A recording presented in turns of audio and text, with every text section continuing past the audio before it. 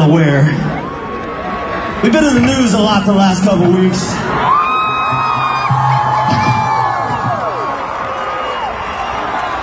It's been kind of crazy to see all the different angles everybody's coming at, trying to make sometimes the song something that, or the video or whatever, something that it wasn't, alright? So, here's what I'll say. I grew up, my dad was in the military, and so I grew up I grew up in a house where you just kind of didn't really take a lot of bullshit like that. Nobody just, nobody put up with that kind of stuff, right? So I heard a lot of stuff this week about the video. Oh, Jason, tell us you didn't cave. Tell us you didn't bow down. First of all, only person I bow down to is God, for one, all right?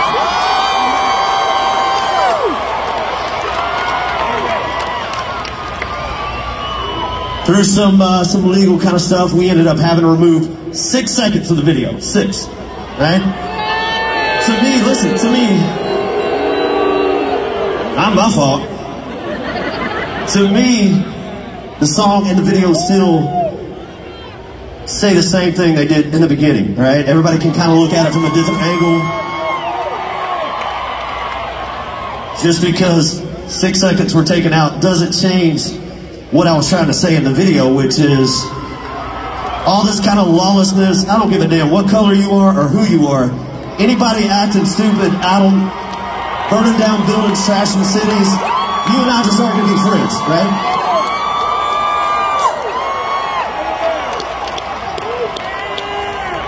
So just so you know, man, when you guys read articles, I ask you to not just read the headline, Go all the way through, read, get the facts straight, man. Everybody's so quick to cancel everybody. Oh, he did this, he did that, they did this, they did that, whatever. Just do your homework. Read the article, not just the headlines, and get all the detail, get all the information before you start making an opinion, all right? That being said, I've never been prouder to be a country music artist and be in country music than I have in the last couple weeks. It has been truly amazing to watch one side come after you so hard and the other side rally to your defense and take on for what, what is right, in my opinion, what is right. And within two weeks, this might be one of the biggest songs I've ever had in my career, which is, which is saying something, right? So anything you hear about me in the news, please check it out. Don't believe everything you hear, all right? That being said, I want to say two words to you guys, all right? Two words. From the bottom of my heart, thank you.